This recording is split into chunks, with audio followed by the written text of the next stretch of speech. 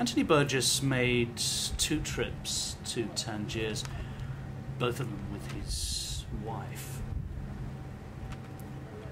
Talking about the first one, he describes the place as all junkies. Land of the Great Grass, they called it. And pederasts.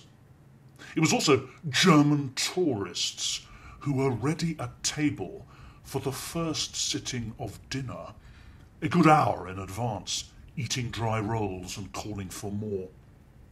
I was interested to watch one German paterfamilias collect the sugar lumps from the deserted tables and dump them in a napkin. He needed them for a picnic, he said. The manager said, and poured on the lumps, a whole jugful. Why did the Germans, in this admittedly rather feeble manner, continue to want to be hated? It was best to eat out, away from them, with the expatriate literary pederasts, Robin Maugham, Rupert Croft-Cooke, and their smart suited tangerine companions. After a drinking session with one of them, Lynne turned her sharp blue eyes on me and put the straight question Was I, perhaps, a closet homosexual? To my surprise, she cited verbatim Christopher Ricks's review. Homosexuality is not wicked, not ethereally spiritual, not necessarily the source of anxiety or agony, not incompatible with other things, but rather a pleasant virtuosity.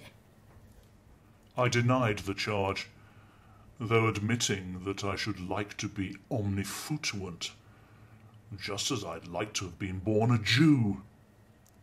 But she had stolen a glance at the pages of the new novel I was writing, in which I seemed to be presenting Shakespeare as a homosexual, and a syphilitic one at that. My true sexual nature was beginning to come out in middle age.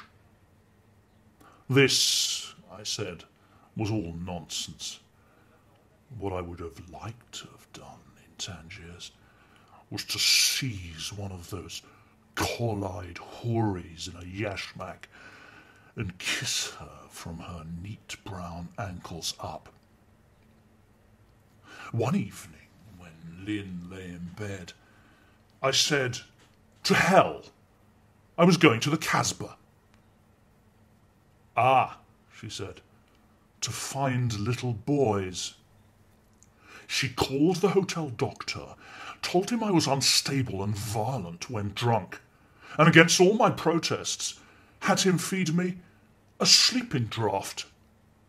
Then I passed out and woke late with a parched mouth. This was no way to spend a holiday.